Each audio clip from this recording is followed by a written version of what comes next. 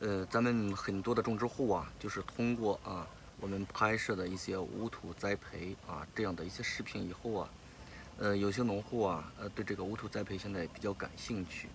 那么无土栽培啊，怎么样做到一个既提升了口感，第二个呢又有高产量呢？呃，这一期呢，我们就来聊一聊无土栽培。那么关于它的一个水肥的一个管理啊，无土栽培呢，它很重要的一块呢。啊，就是在水肥管理这一块儿，每天它要达到一定的呃蓄水量。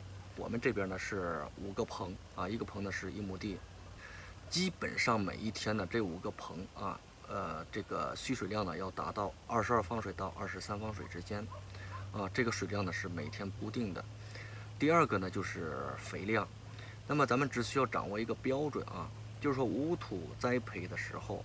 咱们第一个呢，要监控它的 EC 值，也就是这个呃盐分啊。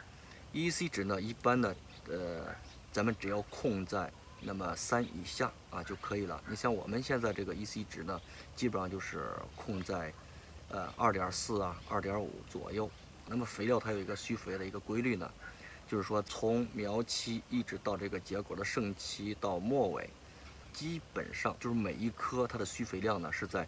一点五克啊到二十克之间啊，一直走高峰就行了。好多农户现在其实走入一个误区啊，说我一亩地我应该需肥多少量？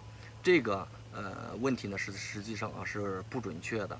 应该说我这一亩地我是栽种了多少棵苗子，然后根据每一棵它的需肥量，然后来决定我这一个棚或者我这一亩地应该去使用啊多少这个这个量啊。好了，本期视频呢就到这里吧。